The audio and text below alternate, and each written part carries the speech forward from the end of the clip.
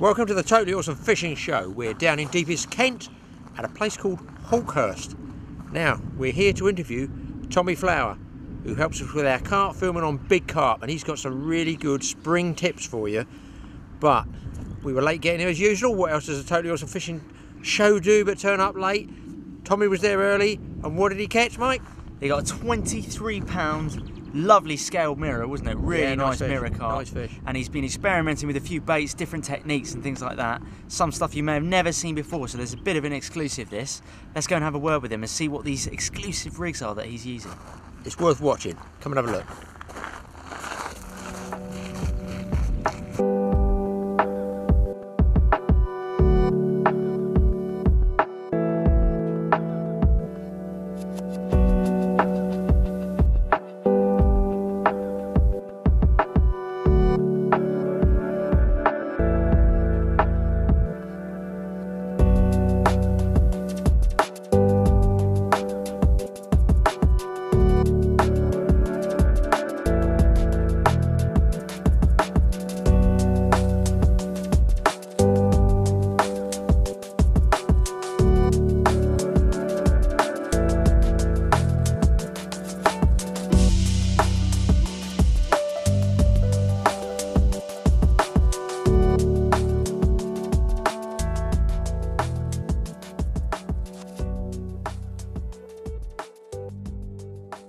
Tommy, good to see you again, buddy. Yeah, you too, Uh, mate. We had a good session last time when we were doing some winter carp fishing tips. Now it's time for some uh, spring carp fishing tips.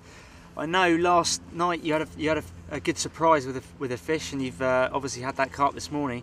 Just tell us what actually happened, because we, we tried to get here. Usually, totally awesome fishing, we get here a bit late as usual, um, but unfortunately we couldn't get here last night. Just tell us what happened. Um, all it was really sort of I wanted to get down obviously before you so get set up and everything else. Decided I weren't gonna fish. I thought I'd bait my spots and hopefully rape the rods today. But um, I see a fish roll and couldn't couldn't resist Couldn't it. resist, yeah. So I put one out and sort of early hours of the morning, absolutely one toner uh, rattled off it into it, and it was Yeah. like hitting into a train. This thing took me everywhere up and down the lake. Yeah. I think I had it on for about 15, 20 minutes. Finally got it in the net, realised it weren't a carp, and there's a big cat sort of appeared. Really? Yeah, so it, it weren't massive, probably just, over the 20 pound mark, Yeah. something like that. But they, Decent, yeah. yeah, they hang on. And have they got a few catfish in here? Do? Uh, yeah, there's quite a few in there. Yeah. I think they got some, there's some decent sizes. That's good. And then uh, what happened this morning then? Because I got the text from you this morning that you'd already had one before. We were already on the road and he's already got one and can't stop this boy. so what did you get this morning? Well, so after I had the cat, I thought I, I won't put it back out. I sort of put a little bit more bait out, thinking if they've been on the feed, then they would have cleared what I put out. So I put some more out. I overslept this morning. It's only my girlfriend rang me. I was, I was supposed to be up at first sight, and I wasn't. Got up just after. I, I put my rods out, sprinkled a little bit of bait. I'm done my left rod first, and then done my right, just down the bush to behind us. And um, before I could even ring my girlfriend back, it, it, it was off. It was another one toner. Yeah.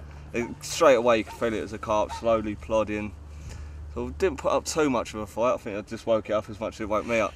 But um, yeah, it's sort of got in the net, a nice scaly one. Went about 23 pound, but yeah, it's, it's irrelevant when they look like that. It's Yeah, it is. Yeah, sort of first fish. of the session is Yeah. always nice. That's good. And so, how long have you been coming to here? Because you said to me you've been here a few times. How long uh, over the years? Yeah, you've been here a sort few of- years, haven't you? Well, my carp fishing sort of started on this sort of complex. There's a couple lakes down the bottom, and um, I mean first ever 20 out of the main lake. Yeah.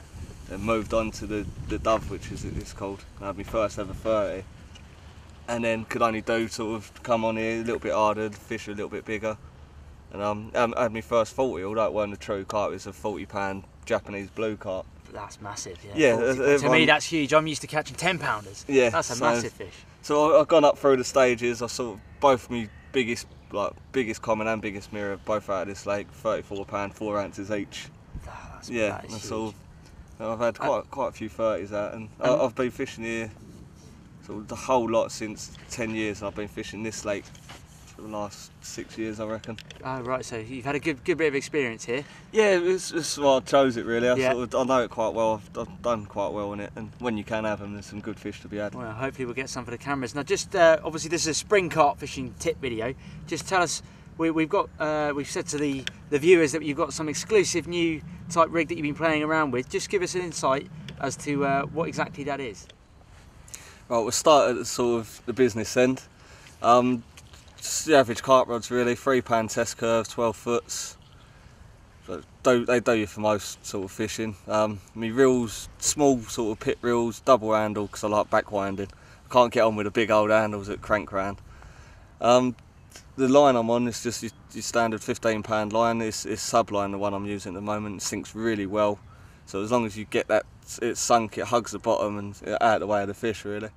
Yeah, the, the way I'm fishing at the moment, although I'm fishing sort of fairly close to like the far margin and my, my own margin, I want everything pinned down. It's, it's, I'm fishing, so it's, it's the shallow end up this end, so I don't want the fish coming into contact with any of me line. When it all pinned down, kept quiet and out of the way. Bit of stealth really. Um, don't really need the uh, sort of back leads at the moment, so as long as you sink your line properly and it hugs, I tend to find that that does just as well. If the wind picked up a bit more and I was getting more tow or sort of things bumping into the line, then I would opt for the back back lead, just sort of pin it right down. I say as at the moment, I think slack lines keeping everything simple and everything really just out away from the fish. I don't I don't want to spook anything. Um, so I'm fishing, me, me bobbins are all slack. I don't want no weight on my line. Everything as soon as I get a run, that that'll go. I shouldn't really get no backdrops. I'm fishing running leads at the moment. And um, this is pretty much it really. So the rig that's been doing the damage at the minute that I had the catfish and the fish on earlier is um, a multi-rig. Everyone sort of knows different variations of it and I think it's just fine tuning it to what you feel and what, what you like. I use it and my mate uses it and you look at the rigs and they're sort of completely different but yet still the same. So um, I'll show you my variation of it and hopefully it'll help you catch a fish or two. All you want to do is create a loop. Sort of the loop depends, especially like I fish it as a pop-up, so your loop depends how high your pop-up's going to be, which I like mine really short. So, so just pull that down tight. Snip that off. Had a pair of sharp scissors. So then it's one of the easiest rigs. All you do now, pinch it together so it's nice and tight. Pick me up. And all you want to do is just slide it through the eye. Make sure you're facing away from the point. Leave that like that. And then all you want to do, attach a little rig ring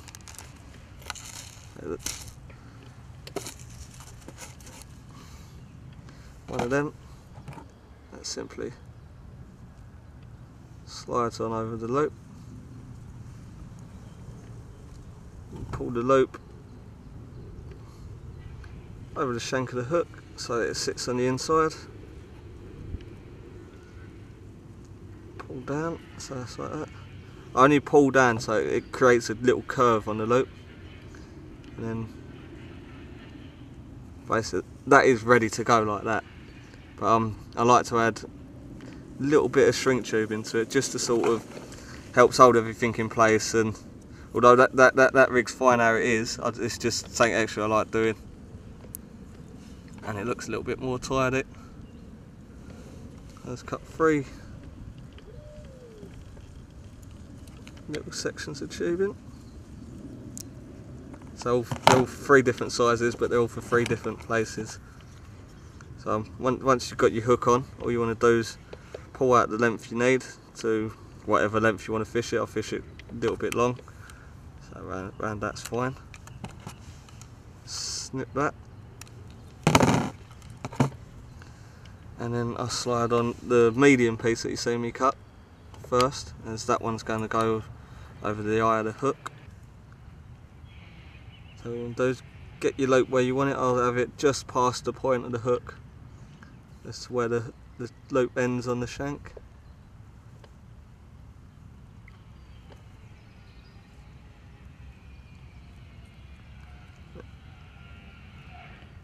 Put that little bit of tubing onto the eye.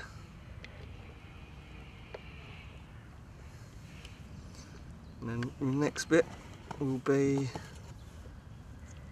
the longer bit. I ain't going to use the medium bit now because so it's only a short gap. Take that bit out. And then all I do on this end is get another loop. Simple to do. Pull that like that. Cut the tag end.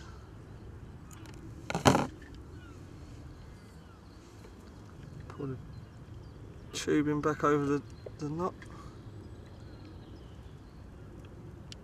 All that does is keeps it nice and tidy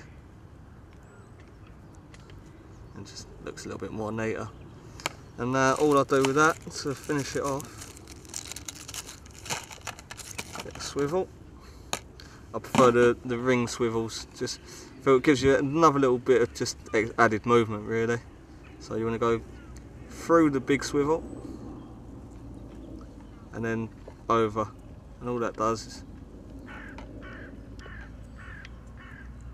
pulls down tight on itself and that's not going nowhere. So I've, using this rig I've caught fish up to 56 pound with no problem so the knots are all good and I'm happy using it. So I've just stripped that back just below the knot. I don't, I quite like it when the actual coating crinkles up because it gives like the putty tank to grab onto. And all I want to do, bit of putty. I like using a big bit of putty. I don't don't care if it's overweighted. I, I want it to be 100% on that bottom and hold, holding deck. Hold that round.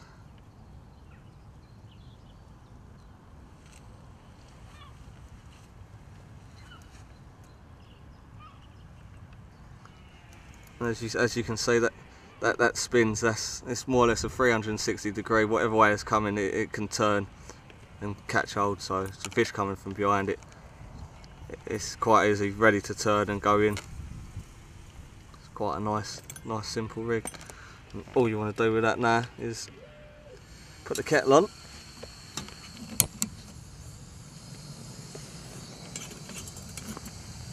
And then steam it all in place as I say once you've got all your tubing and your putty on and everything how it wants to be all comes down to steaming it now getting everything in place as you see, see the shrink tubing, shrinking down there.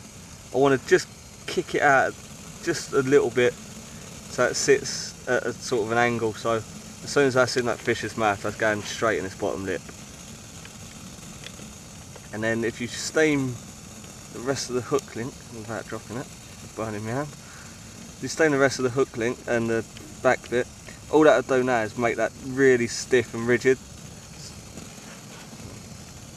Very cool.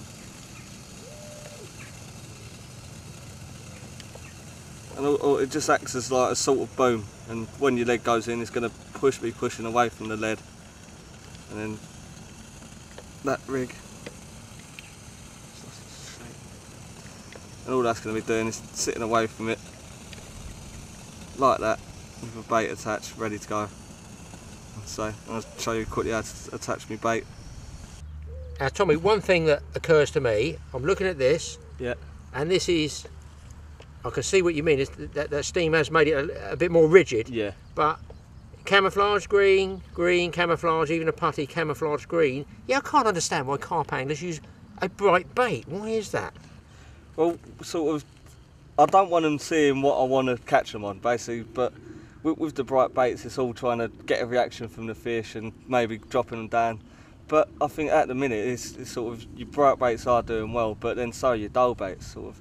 We've got one that I've just come out that I've been doing quite well on. The, um, this is one of your secrets, Tommy. Is it? Is it yeah, no, revelation? This, no, this one you can buy in the shop. Well, buy on our website, but um, it's a completely different colour. You don't see many people casting that sort of near on black bait anymore. It's and it's good for the bird life as well. It sort of sometimes goes a little bit unmissed, but it's just doing something a bit different. It's I don't mind turning up to late and again, yellow's the one that's catching. Sure. I'll, I'll go and use pink or a, so a black one or just saying that. You want to experiment, you want to be different yeah, everybody want, else. Yeah, I want, so most of my fishing's done a limited time, so I want everything to be working for me. And if I'm fishing the same as everyone else on the lake, you're going to be catching it the same as everyone. You've got nothing that sets you apart. Gotcha. So if, if you think about sort of different hook baits and things like, like these ones, um, they've been quite heavily glugged in in the krill liquid that I'm using at the moment, and they smell. As I say, if you if you smell that. Oh man, that's rank. Yeah. That, I go shark fishing, and I tell you what, we must catch a shark on a boilie. Glad. Yeah. That is pretty rank. That is. Uh, I want to try go with one of the black ones, as you're saying. Go go against the grain and something a bit bit different. And as I say, they smell lovely. I think they're based on black tiger nuts. Again, against the grain. It ain't your tutti fruities or The standard. Yeah, just just something a bit different. I feel. So um, they are good, and they're proper buoyant, which is good. There's nothing worse than getting a pop up on and you reel it in a couple of hours later and it's, it's sunk. It's, Oh, really? yeah, So that does happen then. yeah, I've had it quite a few times on different baits. So all, all I want to do to attach that is put a dental floss through the rig ring. And that's just regular dental floss. yeah, just yeah. My mate swears by the minted one. I don't Oh, think really? it makes any difference. I think he caught a fish on it once, and so it's, it's all confidence. So that goes in that. All I want to do is So you don't uh, you don't drill it out or anything like that. no, no. I find sometimes if you pierce it they take they take water on. I always see. and then obviously then they can sink again. But with that, just simple overhand knot, pull down tight. And that's enough to hold that even with some distance casting as well. Yeah, I was in France last year. We was putting about 160 yards, and I was I was holding. Really, good lord. So even though I I do that three times, I haven't really got a reason to do it three times other than Fisherman's luck. oh, it's just what I've always done it, and so it's, it's never really let me down. And then your two tag ends, all you want to do, snip them off. Make sure you snip them both at the same time. So if you snip one and then go to do the other, it pull the loop out and I see. Yeah. the knot won't go tight. And then get a lighter. Careful with your actual Just going to main melt the end line. of it, yeah. Yeah, all you, all you want to do is just just blob them down. Like so. Squash it down, and as tight as you like, and that, that and that- obviously the knot's never coming undone. And that is really your finished product. Something a bit different. Something that's caught me a lot of fish. Now that's that rig done, Tommy. That was an interesting one. And you're using dental floss because I use that sometimes on my own sea fishing, so I know it's good stuff. What I want to know is on your second rod, your second outfit out there, you've got quite a bit of particle bait you've been putting out there. So how are you going to rig up for that one? Yeah, I've got got quite a lot of sort of particle baits and pellet, crush boilie, quite a lot of whole boilies spread around. Sort of, I've baited up and down the margin either side of the spot and then out to the island. So if any passing fish are sort of getting on it and hopefully all getting filtered into where where the hook bait is. Um, all I'm doing in that, way, I've got so like many small baits and bit baits and that, I'm just using a, a short rig with um, a single bit of pop-up corn. And all, all that will do is literally the, the rig will sit there and that's, that's just going to be sitting just above it like that, weightless. And then any passing fish, is- that, that's going to get sucked in and that hook's going straight up. Um, best way I sort of find fishing this is either you can use sort of PVA mesh bags and everything else, but well I've got such a short hook link and a quite a tight baited particle spot. I, I quite like using the um, solid PVA bags. I think it gives you 100% like good presentation. And know, it's confidence. I think in, in all sorts of fishing, if, if you ain't confident in what you're doing, you ain't going to perform as well. As long as you're confident, then you can you can have it off. I think. Um, for me bag mix, what I'm going to do is well, I've got a bit of pellet in there. Uh, the boilies which I'm using at the minute, the, the new ones on test from the bank bug I'm, I'm fishing with at the moment. All I want to do is a few of them in there, get them all nice and crushed up. Pour that in with a pellet, just a little bit of extra flavour, a little bit sort of clad in there, different texture.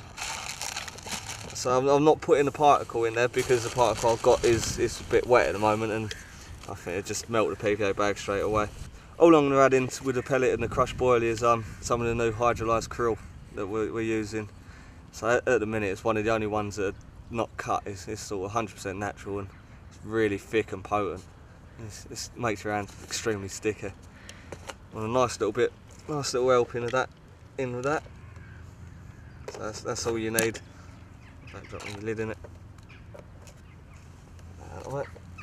And then just a little stick or pair of scissors. Just get that in that. And what that does, it just soaks all the pellets, soak it in, and it's, again, it's just making your bait work for you. I want, I want something to pull the fish into me rather than just sitting there and being like everything else. It gives that little bit of added attraction. So that, that stuff stinks. That's fine. And all I'm going to do now is solid PVA bag. Put a little bit in the bottom. Just lace the bottom out. Nice and compact.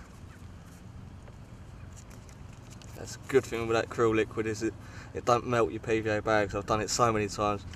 So I had different liquids and gone, ah, oh, it's not an oil based one and your bag melts and you have to start all over from fresh. Um, all I want to do now is get my rig. I'm going to lower the bait in, making sure the hair's separated from the hook. I'm sitting fine.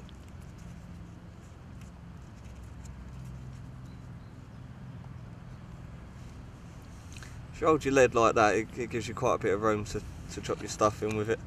So what I'm going to do now is fill that up.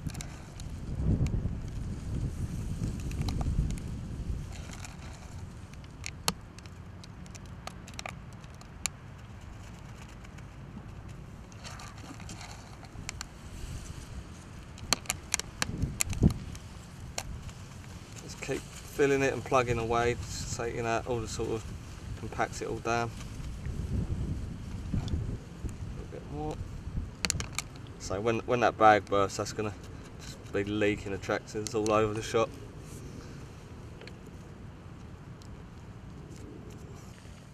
Well, well, filled it up now with the oil and the krill.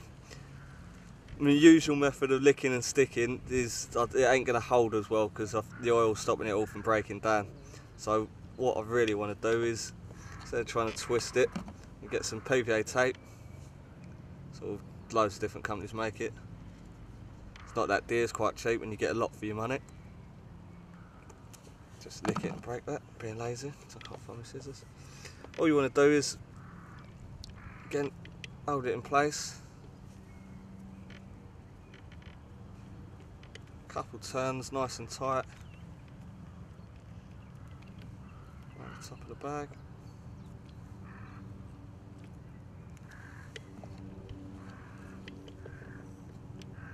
And then again,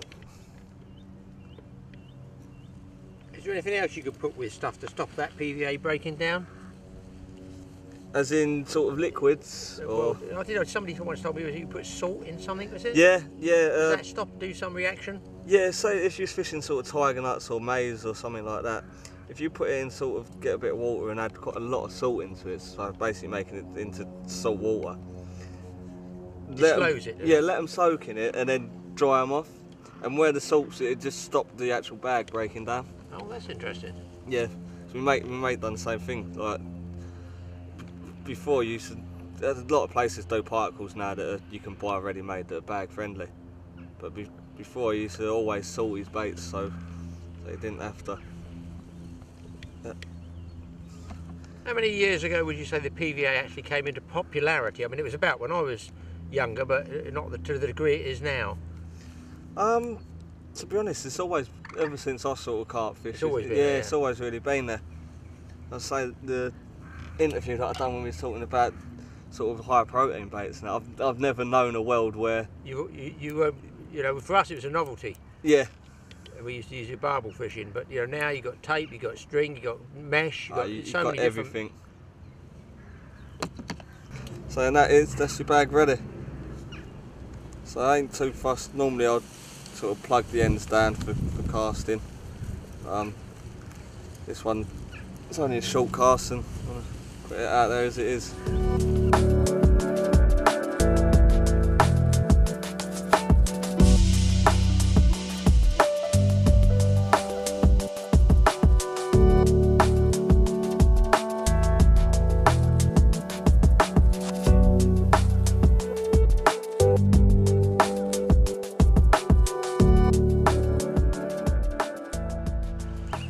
Right, you say that, that cast just went spot on. I don't think I could have got much tighter without hitting Graeme anyway. Um, all I want to do now is just keep my line nice and sunk. A lot of people tend to pull tight and uh, which you can move your lead. I find if you take a bit of slack out, drop your tip really low, and then pull up as your rod comes up. So you're not actually moving the lead, you're just working a bit of line in your hand. And all it does, it really helps it, it like get down on the bottom and hold deck. Once you, you've got all your line off your surface, a couple more times, and instead of sort of tightening up now, you want you want it to be sort of limp from your tip of your rod. So basically, I don't let it have as much slack as it wants. You can see, it's more or less pulling straight down from the rod tip. And then people now go, oh, tighten me bobbin right up to it so it's holding lead. All, all I want to do is line in the line clip, like that, tighten up, and as you can see, the, it's slack from going sort of out away from the rod, and all your pressure's on the bit from the reel. So there's no real thing there. And that's, that's what you want really, it's all nice and pinned out the way, it's slack.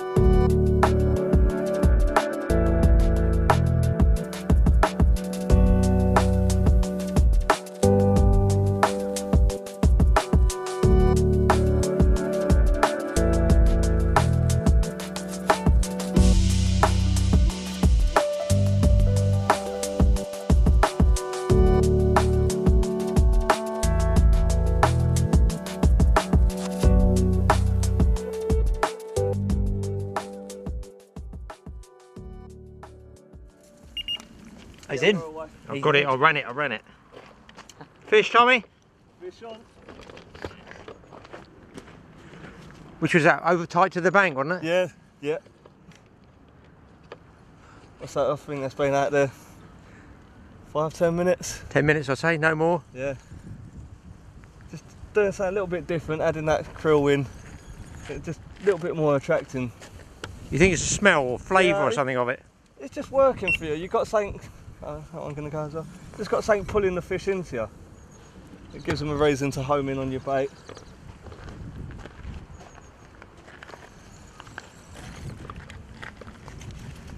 Not really doing much. He's coming in nice and easy at the moment, yeah? Yeah. Sort of just plodding.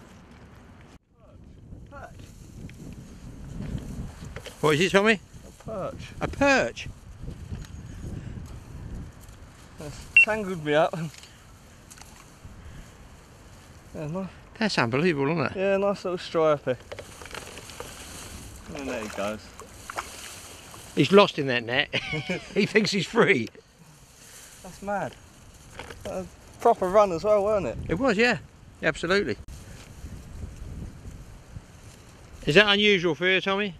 I've never even caught a perch Never caught a perch from here. not out of here. Well, he's not a bad old perch, is he? No. I think he got creased up a bit with three pound test curve, but yeah, it's a nice, it's a nice looking fish there. he's doing well to get past all the catfish, so He was living dangerously on the margins, I'd have thought. so that's what I was saying about that rig. Is sort of it probably hasn't homed in on the actual bit of plastic sweet corn, but when I've got the krill and the pellet and everything else in there, it's come in, sucked it all in, and the rig's gone flying with it. So it's working to principle. Quite happy with that.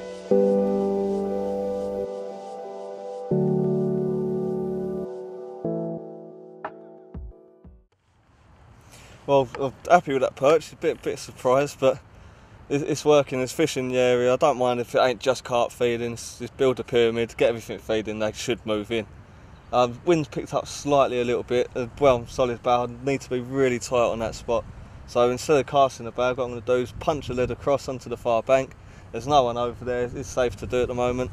So Graeme's going to stay with me rod here. and I'm going to walk around and drop it in by hand so I know everything's spot on. There's no no room for any failure really. Hopefully it's all spot on on the money and away we go.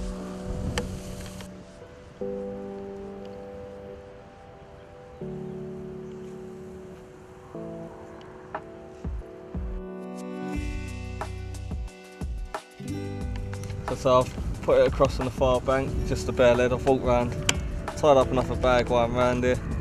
And all I've done with that is I've just, just attached my line, just with a bit of PVA string to the end of a pole. And all I'm going to do with that is just lower it down and ease it on the spot.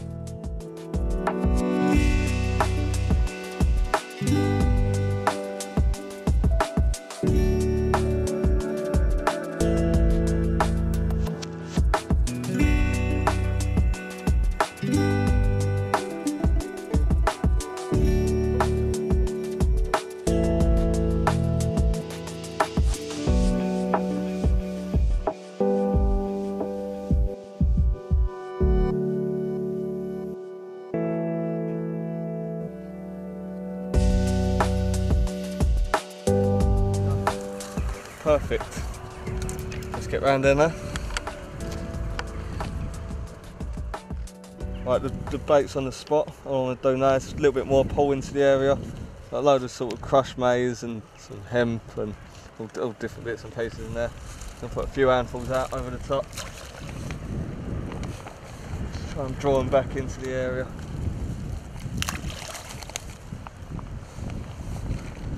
Lovely and cloudy that mix.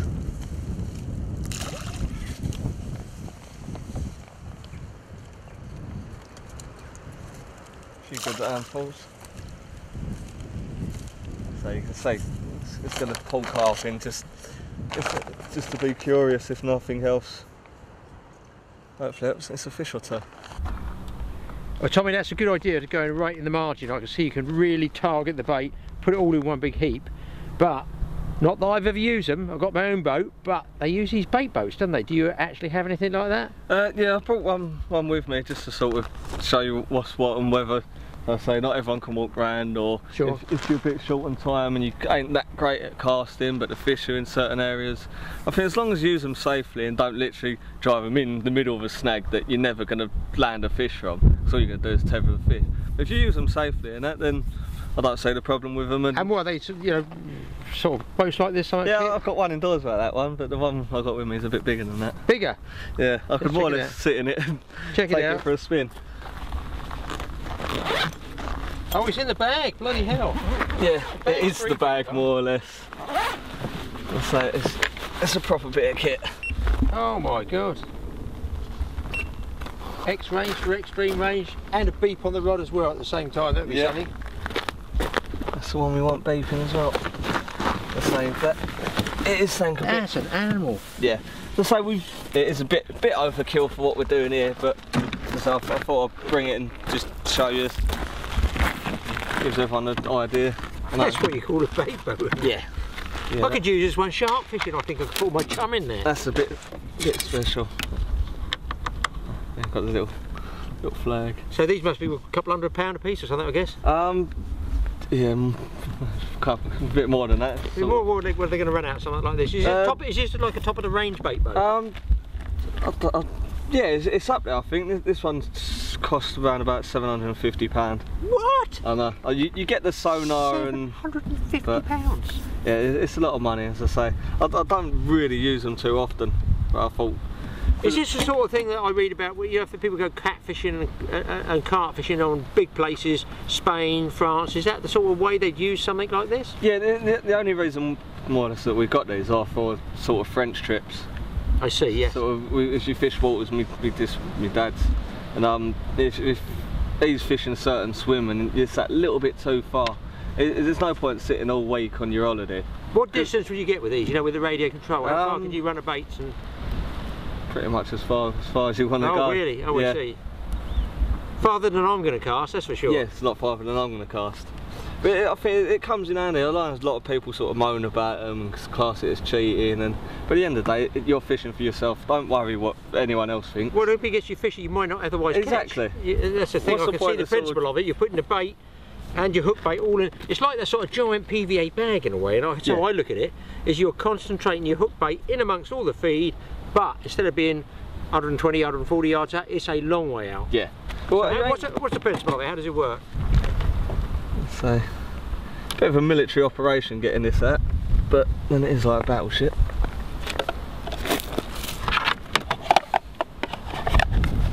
So people class them as cheating and everything else, but end of the day, you can only fish for yourself, and as long as you're happy and you're enjoying what you're doing, And I guess, and I guess pike fishing as well. Don't forget, a you lot can of use people them. use them for pike. You know, for the pike are going to be they're going to be around the snags, they're going to be around undercuts, they're going to be around other banks, they're going to be where you can't get to them. Yeah. And let's face it, as I see this, folks, you do not want to be casting your bait up in a tree because it's got wire and treble hooks for the birds. So these, as far as I can see, for pike fishing, might even be actually be safer than trying to cast too close to a snag. Yeah, and if you're using soft baits, if, you, That's if true, you've got yeah. to put a soft bait at distance, and It's done. gonna- It's pieces.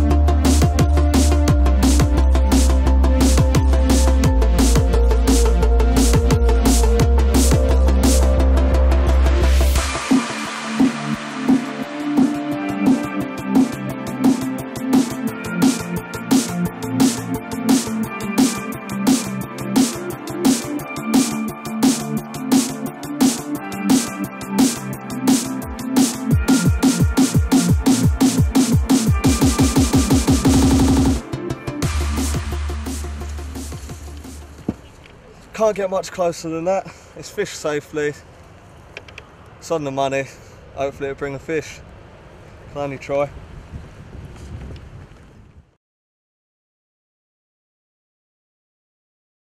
Consider yourself a fisherman. Just how far do you want to take it?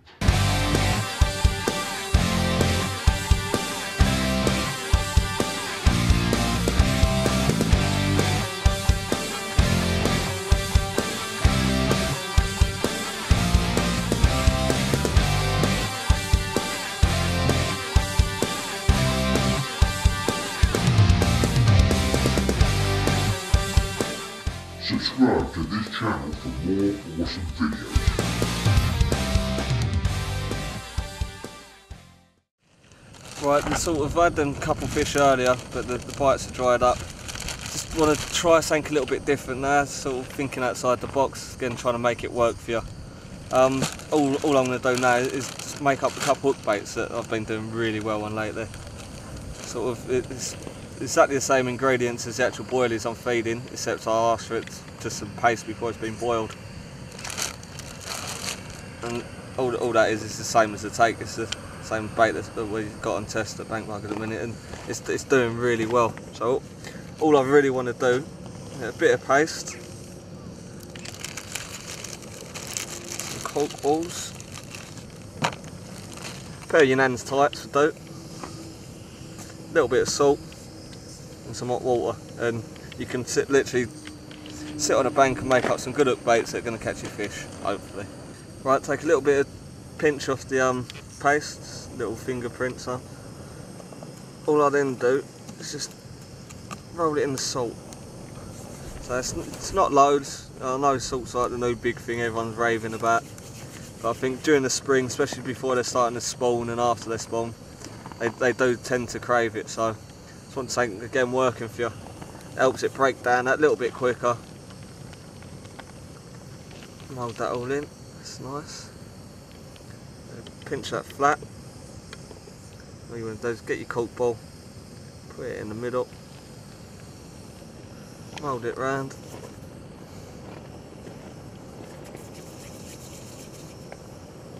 So you can tell like one end will be a little bit thicker so just keep pinching off the excess that you don't need. You only want sort of two to three mil coating. Keep pinching off the excess.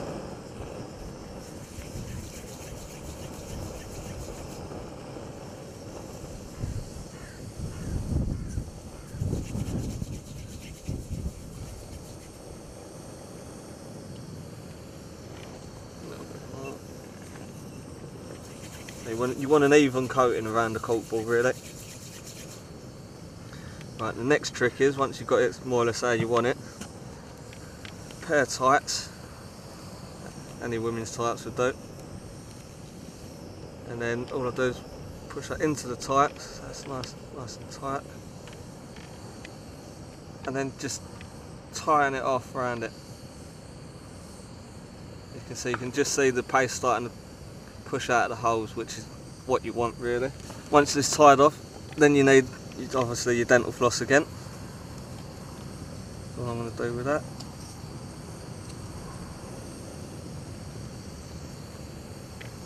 Pull some off.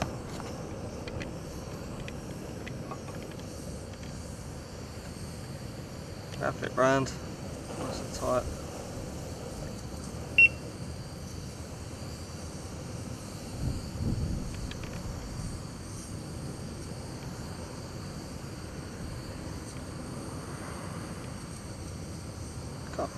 Couple overhand lo- loops.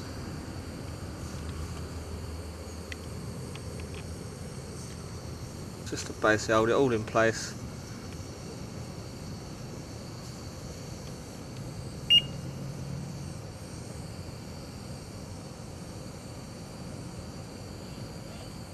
Another one just for that. Get your pair of scissors again. Cut the two tag ends, making sure you cut them both together.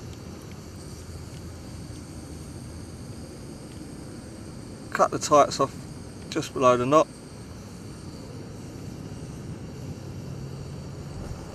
And then all you need to do, get your lighter, and blob that down.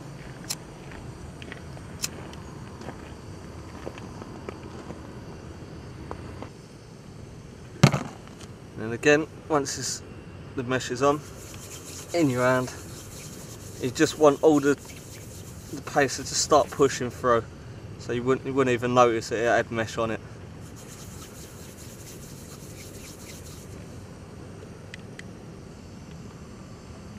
So it looks like any other boilie.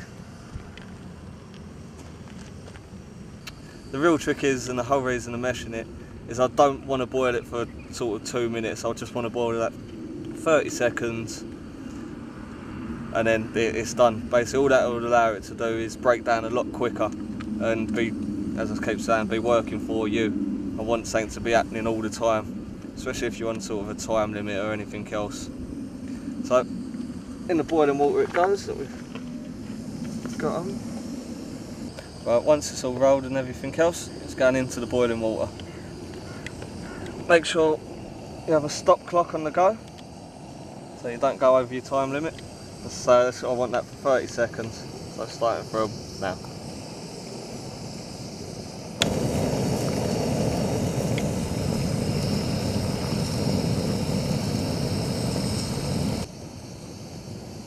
Job done. And that's that's ready to go. You can put that straight on your hook and cast that out. So it, it breaks down fairly quickly. But on short day sessions or you know, as long as you don't mind keep recasting, it will work for you and it will put that extra fish on the bank. Once you've done your baits, if you ain't going to use them sort of straight on the go, you can always tie up a few and all I tend to do is get a load made in the pot with everything else a bit of the krill oil and all it does is soaks it all in and proper penetrates the bait, especially where it breaks down easy. And again, it's just another little tip to sort of hopefully pull some more extra fish into your swim. Yeah. He's in. Fish on. That's no perch. No, that's not a perch. If it is, it's a hell of a big perch if it's got a bend like that. And what one was this one on? Was this the far bank that we did? That's the one that's just gone back out that we walked round and dropped it in. Yeah.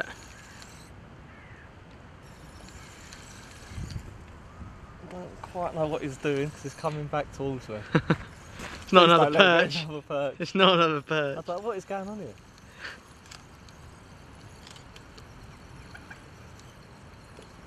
You still gonna be on? Another perch, isn't it?